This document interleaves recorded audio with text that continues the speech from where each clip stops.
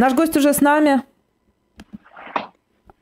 Эдмон да. Марукян, э, посол Армении по особым поручениям. Здравствуйте. Здравствуйте. Все, связь есть, отлично. Слышно, да? Да. Да. Да, вся связь есть. Давайте, как, давайте про официальную позицию. Какая а, официальная позиция Армении сейчас по а, происходящему на Горном Карабахе? Армения работает со своими международными партнерами. Вы знаете, что уже э, Франция созвала э, э, встреча в Совете Безопасности ООН. И, насколько я понимаю, завтра в полдень будет эта встреча. А, армянское правительство, армянское государство резко осуждает действия Азербайджана. Все это есть публично. Мы неоднократно говорили, что Азербайджан планирует этнические чистки в Нагорном Карабахе. Э, уже 9 месяцев э, закрыт Лачинский коридор. Э, люди там голодают. А сейчас азербайджанская армия с вчерашнего дня да, там агрессивные военные действия начала против мирного населения Нагорного Карабаха, против народа Нагорного Карабаха. Убивают мирных людей, детей, женщин и в основном э, начали атаковать э, военные действия начали с атаки э, по позициям армии обороны Нагорного Карабаха. И все это продолжается до сих пор. Э, бомбят э, артиллерийскими э, всеми средствами уже Степанакерт со вчерашнего дня. И у нас даже нормальной связи нету, чтобы понять, что там происходит ну, все понятно, что э, война, война продолжается. А, вам принадлежит фраза, да, вы написали, теперь очередь США решать, какие меры будут использованы, чтобы остановить агрессию, военную атаку на оказавшихся в ловушке голодающих людей. Объясните, чего вы ждете от Америки? Ну, смотрите, э, российские э, каналы взяли вот эту, эту часть из моего твиттера, но там есть маленькая статья о том, что э, зам, зам госсекретаря, помощник зам госсекретаря, э, assistant to secretary, да, как называется, э, Юрий Ким э, на днях, ну там 3-4 дня назад э, в Сенате заявила, что Соединенные Штаты не, на английском могу сказать, да, will, the United States will not tolerate ethnic, ethnic cleansing in Nagorno-Karabakh. Соединенные Штаты не будут э, смотреть, типа...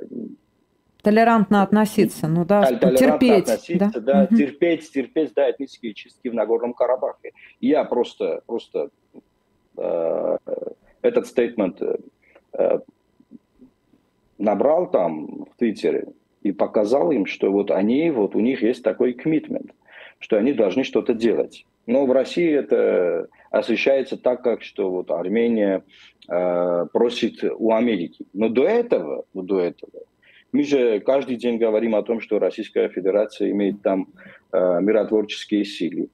Есть э, трехсторонний документ, э, заявление да, 9 ноября 2020 года, есть обязательства Российской Федерации. Э, насчет Лачинского коридора, мы уже 9 месяцев об этом говорим. Насчет э, там, сдержания там, мира, да, все эти обязательства сейчас уже, уже где они? Уже все. Понимаете, вот об этом идет речь. А насчет Америки, насчет Евросоюза, они все говорили, что мы не будем смотреть, как там происходят этнические чистки, Э, вот такие заявления били. Ну, понятно, осуждающие заявления вчера били из всех партнеров, мы работали со всеми, что это надо прекратить, это надо немедленно прекратить. Но Азербайджан э, спокойно там э, воюет против мирного населения. Ну, понятно, что если Запад хочет что-то делать, у них есть э, э, очень, много, очень много средств, они могут просто применять санкции против э, Э, президента Алиева, даже не против Азербайджана, против президента Алиева. Против окружения Алиева, против военных лиц, генералов, министра обороны Азербайджана, которые сейчас, сейчас в нарушении всех обязательств, в нарушении всех международных документов ведут там бои и убивают мирных жителей. И это, это все это я а прошу прощения, а вы не могли бы... Преступление против человечества. Ну, да. А, а как, простите, а как доказать, что, что именно этнические чистки? Как, это можно как-то ну, доказать? Азербайджан это отрицает. Этнические чистки, mm-hmm. да? никто, никто не сомневается в этом. Просто сомневается, Азербайджан сомневается в этом. Не Азербайджан может сомневаться, там убивают э, журналистов, там журналисты Э, ну, открытые, либеральные, да, такие журналисты, которые не под контролем, все они из Запада работают, что Азербайджан что-то говорит об этом, да. Азербайджан вообще о чем говорит? Как надо, что это надо как-то вот э, доказательства привести? Пусть они э, э, прочитают э, заявление Freedom House, пусть прочитают заявление Human Rights Watch, пусть прочитают заявление Amnesty International до этого, как, какие были. Я не говорю о государствах, я говорю о правозащитных международных организациях, которые э, всем понятно, что независимые, и они все документируют все эти нарушения, массовые нарушения прав человека и массовые нарушения. Э, вообще, э, как, как вести войну, понимаете? Они, знаете, как ведут войну? Они обезглавили много людей, мирных, мирных людей в Нагорном Карабахе, убили там пожилых людей в 2016 году. Все это задокументировано, все это есть, все знают. А... Они, э, их армия, их армия как ИГИЛ. подождите, подождите, а, вы одну секунду. Объясните, пожалуйста, я прошу прощения, просто уточните. Официальная да. Армения признает Карабах территорией Азербайджана? Смотрите, было заявление э, Шарла Мишеля, что стороны в Брюсселе э, официально заявляют, что что они э, признают друг друга, Армения и Азербайджан, э, с э, квадратными километрами. Э, но у Армении было, это, это было как пакет, понимаете? Но Армении было еще, э, было еще э, вопросы с этим, что мы готовы признавать э, территориальную целостность Азербайджана, но Азербайджан должен под международным механизмом то, что говорили и, и американцы, и европейцы, под международным механизмом гарантировать права и безопасность народа Нагорного Карабаха. Понимаете, просто это, это часть забить э, от, от того, что вот вы признали. И вот, э, и вот э, это заявление. Ничего не подписано. Армения ничего не подписала до сих пор. Не подписан мирный договор о том, что мы заявляем, что мы признаем. Э, и сейчас я не знаю, что происходит э, с этим, с этим заявлением, потому что это заявление э, идет как, как пакет с тем, что народы Нагорного Карабаха будут права и безопасности. Где эти права? Где эти безопасности? То есть не признает? Которые... Или признает? Или сейчас вообще этот статус размыт? Вот в настоящий момент каков вот статус Карабаха глазами? Я вам об этом говорю. Угу. Я вам об этом говорю, что я не знаю сейчас, mm. что будет с документом, который мы э, в переговорах работали над, над, над документом, э, который мы работали. Это э, драфт мирного договора. Я не знаю, что будет с этим документом сейчас. Потому что все это пошло с тем, что Азербайджан под международным механизмом э, будет гарантировать права и безопасности народа Нагорного Карабаха. А сейчас там идет э, второй геноцид армян. Я не На знаю, что, что сейчас? Что, что Шарль Мишель с этим Что, что с этим может сделать Пашинян в настоящий момент? И как вы оцениваете его высказывание по поводу Смотрите, того, что... до, до сегодняшнего дня, примерно уже э, две недели, азербайджанские войска под номер один стоят э, э, по всей линии соприкосновения по границе э, Армении с Арменией.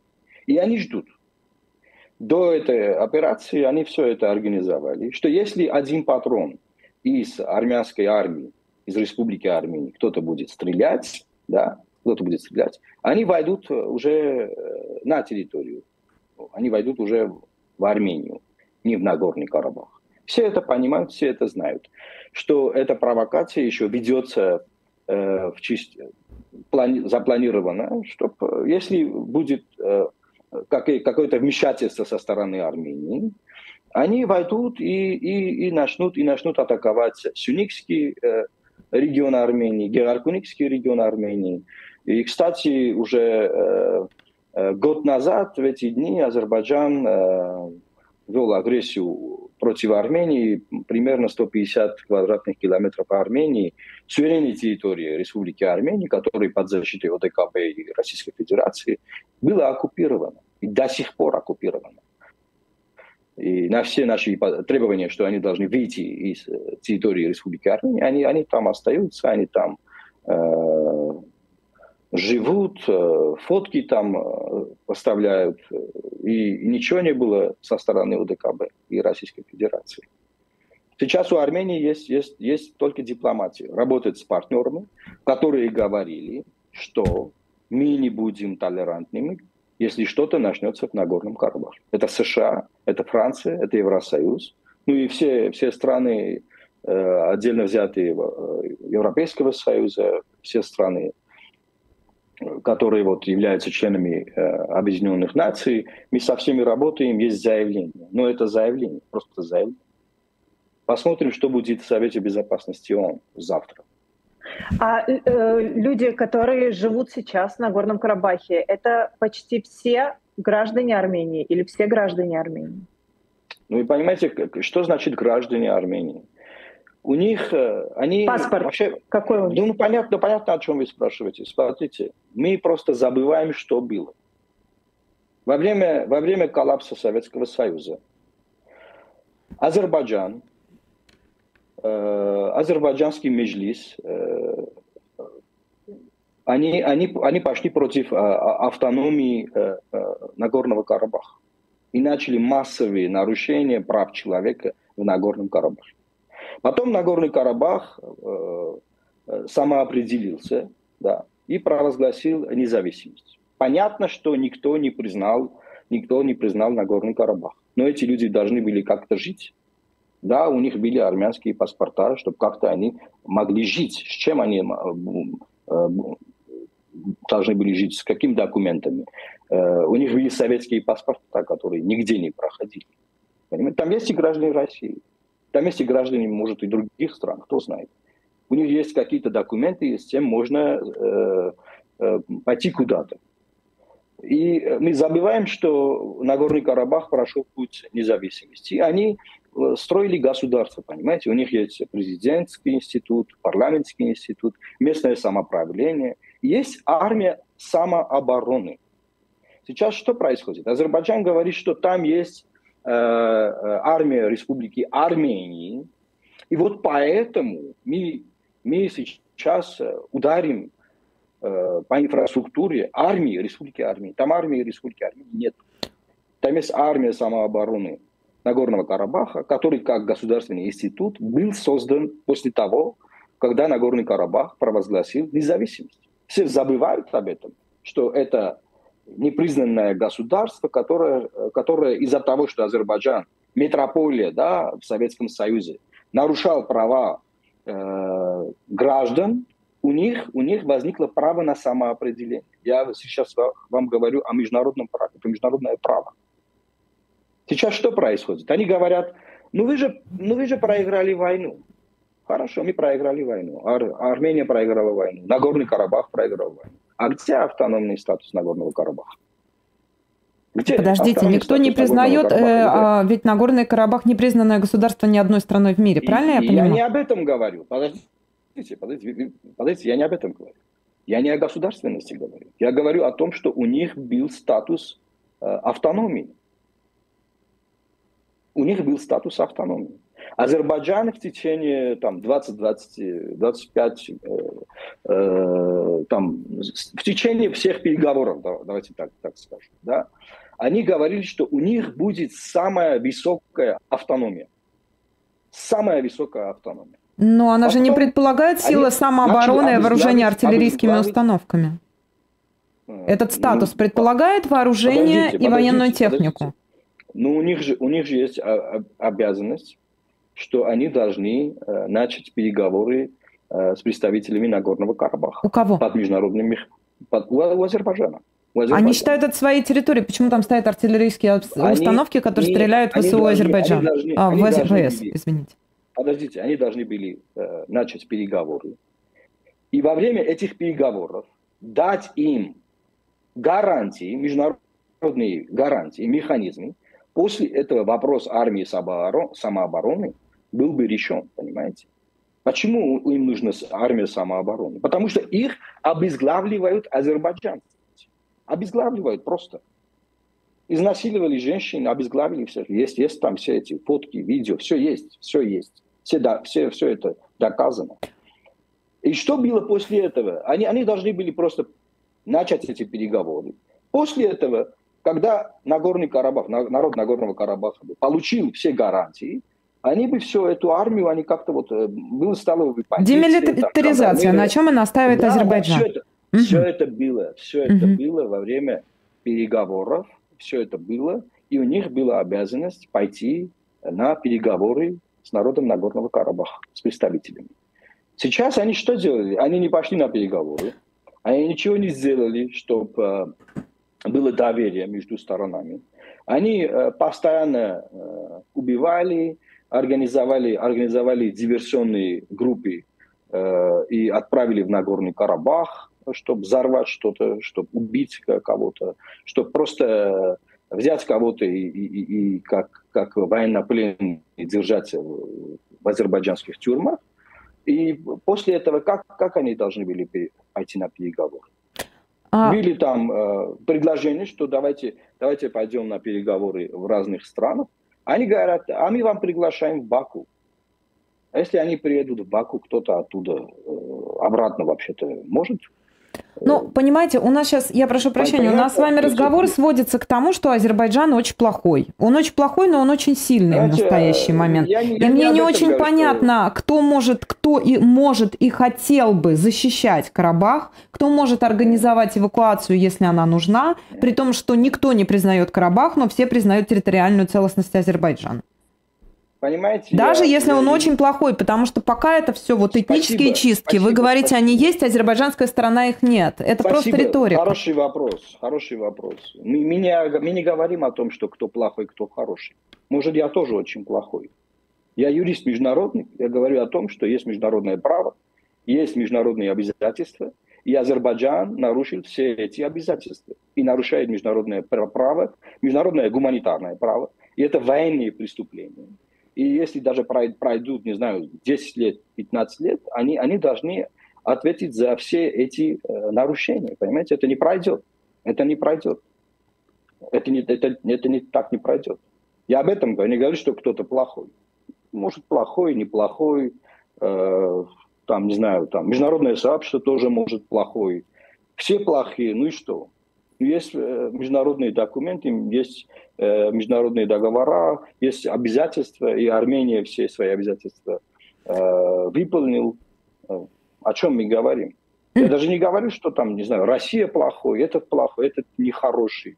О чем идет речь? Вы, как граждане России, я хочу вот вам задавать вот такой вопрос. Смотрите, когда вот 10 ноября было подписано трехстороннее заявление, вот здесь так, указ президента Российской Федерации о мерах по поддержанию мира в Нагорном Карабахе, в котором президент России на основании трехстороннего заявления постановляет направить миротворческий контингент в Нагорный Карабах, цитирую, в целях сохранения режима прекращения огня и поддержания мира в Нагорном Карабахе. Потом Совет Федерации Российской, э, Совет э, Федерации Федерального собрания Российской Федерации, в котором дается согласие президенту РФ на направление вооруженных сил России в Нагорный Карабах, цитирую, «Э, есть постановление уже, уже, уже Совета Федерации. В целых соблюдения договоренности о прекращении огня и других враждебных действий, во избежание массовой гибели гражданского населения Нагорного Карабаха и причинения су- существенного ущерба гражданским объектам. Вот эти цели, которые вот были вот, э, поставлены под, под, э, под миротворческий контингент. Сейчас там есть массовые убийства. Гражданская инфраструктура все э, повреждено. они под, под бомбежками артиллерии. Сейчас нарушается внутреннее законодательство Российской Федерации. Что Господин посол, у этих миротворцев же не прописаны их полномочия. Где не прописано? В, вот в этом вот мандате, там же не прописаны их полномочия. Какой, это, это, это, закон, это, это законодательство Российской Федерации. Какой мандат? Когда, когда вот э, войска Российской Федерации вошли куда-то, под, под каким юридическим документами они вошли? Они вошли под этими юридическими документами. Сейчас нарушается внутреннее законодательство Российской Федерации. Потому что э, Совет Федерации Российской Федерации отправил военный контингент в Нагорный Карабах, чтобы они там защищали мирное, мирное, мирное население и, и не допустили, чтобы э, кто-то кто артиллерийскими бомбежками ударил на гражданскую инфраструктуру. Вы ждете Сейчас, поддержку со стороны России? Конечно, есть там, есть там обязательства. Давайте, есть кстати, голосование наше. Это, это, это, никто, это никто не отменял, понимаете? Никто не отменял. Если из Российской Федерации кто-то скажет, что все, отменено, Совет Федерации сейчас отменяет этот документ, хорошо, мы ничего не будем ждать. Мы ничего не будем ждать. Но есть а документ, сколько ждать? Подписан. Э, не то, что я, я говорю о том, что есть обязательства. Нет, я понимаю, просто э, вот там в данный момент там идут боевые мы не ждем, да, на нет, территории. Мы не ждем, мы работаем, мы не ждем, мы работаем с международным сообществом. Мы работаем с Международным судом э, ООН, мы работаем с Европейским судом по правам человека, где Азербайджан является членом. Мы работаем со всеми. Скажите, пожалуйста, а вот как раз в связи с этим вопрос, а есть ли сейчас, э, и, и если есть, то сколько международных разбирательств по факту по, по фактам, как вы сказали, военных преступлений Азербайджана против собственного этнического меньшинства. Давайте так это назовем. Если мы признаем ну, Карабах территорией Азербайджана, вы говорите об этнических есть, чистках. Есть процессы и будут процессы. Есть какие-то вот установленные подождите, факты? И... Азербайджан установ, установленные факты много, очень много. С 2016 года. Но Азербайджан не является членом Международного уголовного суда. Но есть другие механизмы, э, есть универсальная юрисдикция, есть другие механизмы, которые мы можем и будем использовать.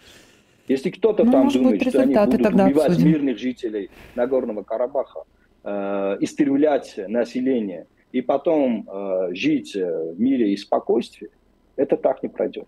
Смотрите, это должна ли Россия сейчас поддержать Армению? Да, 55%, нет, 45%.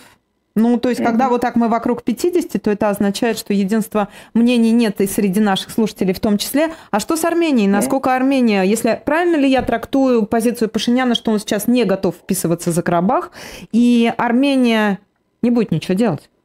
настоящий момент. А что означает вписываться за Карабах? Ну, каким-то образом помогать, я не знаю, а вот отправлять туда ну, какие-то... Как помогать? Я, я вас проинформировал, что уже две недели вся Армения э, заблокирована тысячами войсками Азербайджана. Ну, то есть если Азербайджан поставил войска если... на границе, соответственно, восточной да, границе Армении, на западной границе Азербайджана, и, на, и наводит порядок на по своей всей. территории. По всей, по всей, да. И ждут, если кто-то один патрон будет стрелять, они войдут э, уже в Армению. А потом уже что будет делать ОДКБ? Вы знаете об этом? Кто-то знает, что будет делать ОДКБ? Ну, э, я... Э, Нет. Кажется, ничего. Из, из территории защиты ОДКБ 150 квадратных километров прямо сейчас оккупировано Азербайджаном. Что сделала ОДКБ? Кажется, ничего? Ну да. И еще есть, э, еще есть договоренности с Россией. До ОДКБ у нас есть договора с Россией. Что мы, и Россия, что, кажется, не что, делает что, ничего? Что для, для России, да. И что для России? Что для России? Суверенная территория Республики Армения – это красная линия. Все мои коллеги, все мои друзья до сентября 2022 года все говорили, Нагорный Карабах, ну это понятно, мы же не могли там что-то делать. Но если будет какая-то агрессия против суверенной территории Республики Армения, то у нас же есть обязательства, есть документы подписанные. Это красная линия для Российской Федерации. Мы это не допустим. После этого 150 квадратных километров было оккупировано. Более 200-220 э, жертв были. э, военнопленные до сих пор э, в бакинских э, тюрьмах сидят. А что говорили из России? Говорили, а, вы знаете, у вас же делимитации нету. А, ну, делими... ну надо делимитировать там границы, понять, где ваши границы. А непонятно, да, были наши границы. А когда непонятно были наши границы, что? Вы подписали что? Над чем они э, взяли обязательства? Вот. О чем мы говорили вообще 30 лет? Где а... наши э, обязательства э, для друг друга просто? Понимаете? У меня, вот просто... телеграм-канал интервью, да. я, как юрист, недавнем... я как юрист с вами говорю, понимаете? В недавнем Народа, интервью... В Армении вообще понятно Никол Пашинян, да, а, Никол, Никол Пашинян сказал, что, возможно, Армения выйдет из ОДКБ. Это серьезное заявление? То есть они действительно обсуждаются сейчас? Смотрите, Армения до сих пор, они говорят, э, из России мы очень много получаем там заявлений, что вот Армения хочет поменять вектор. Там хотят поменять вектор. А что Армения вообще сделала? Мы вышли из ОТКБ? Нет. Мы вышли из Евразеса? Нет. Мы какие-то договоренности с Россией э, сказали, что мы все не будем делать? Нет. Ну, вы провели а, армяно-американские учения, супруга а Пашиняна знаете, съездила в Украину. Так а это воспринимается? Знаете, а, вы знаете, а вы знаете, что эти учения у нас проходят с 2011 года? Просто у вас в России освещали это так, что это первый раз, первый раз в мире Армения. Это, знаете о чем? У нас есть этот миротворческий контингент, э, миротворческая бригада, которая работает, и у нас есть э, Э, из этого миротворческого контингента, кстати, мы, э, мы отправили в Сирию по просьбе России. По просьбе России.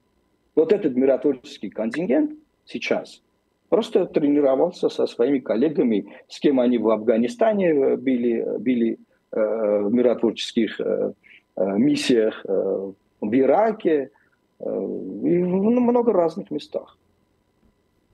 У нас, к сожалению, время заканчивается, но я вас все равно спрошу, э, э спрошу напоследок. Вот последние заявления, понятно, вот вы, э, про э, армяно-американские учения, это понятно. А, но вот, например, заявление про выход из ОДКБ или о том, что когда Никол Пашинян сказал, что пообещал полностью ратифи- ратифицировать римский статут. Вот эти вот заявления, понятно, что они ну, идут на такой прямой конфликт с Россией. А это говорится потому, что есть какие-то договоренности с Западом. Есть какие-то договоренности? Или на, на что расчет, когда вот такие заявления Все... звучат? Спасибо за вопрос. Все договоренности, которые у нас есть и были, которые у нас есть и были. Все это, все это публично. Все это публично. У нас никаких договоренностей нет. Все публично есть. Насчет римский статут, э, вы знаете, что было? Были, была встреча в Москве, и армянская сторона э, э, предложила России, что есть механизмы насчет, насчет римского статута, что это против России не может быть использовано. Просто у вас пропаганда работает так, что вот все это против России делается. Есть же механизм, есть. Римский статут э, Армения хотела ратифицировать э, из-за того, что Азербайджан э, на территории Армении, каждый раз, когда они агрессию организовали, они, они вели такие, такие преступные бои, как ИГИЛ, чтобы у нас была возможность подавать Международный уголовный суд. Это как, это как вообще против России? Непонятно. есть механизм, я, я, я, я еще раз говорю. В России все это знают. Об этом механизме, о предложении Армении. Как, как, как друг, как союзник. Что предлагала Армения? Я уточню еще раз э, Машин вопрос, потому что я не услышала четкий ответ от вас. А в Международном уголовном суде все-таки рассматриваются сейчас дела уже о военных преступлениях? Смотрите, в международном, международном уголовном суде нет, но в международном суде ООН да. А, угу. Два разные судебные инстанции э, в Гааге, да, и, и уголовный суд, и международный э, суд справедливости. Но это разные, разные судебные инстанции, угу. да, конечно, есть. И, и, и этот суд, и этот суд, уже дважды э, решил, что Лачинский коридор должен быть открыт. Да, это. Ссылаясь на, ссылаясь на документы 9 ноября, который подписал президент России Владимир Путин с премьером Армении и с президентом Азербайджана. Спасибо большое. Посол Армении по особым поручениям Эдмон Марукян был у нас в эфире. Спасибо. Вам тоже господин. Спасибо. Спасибо. А,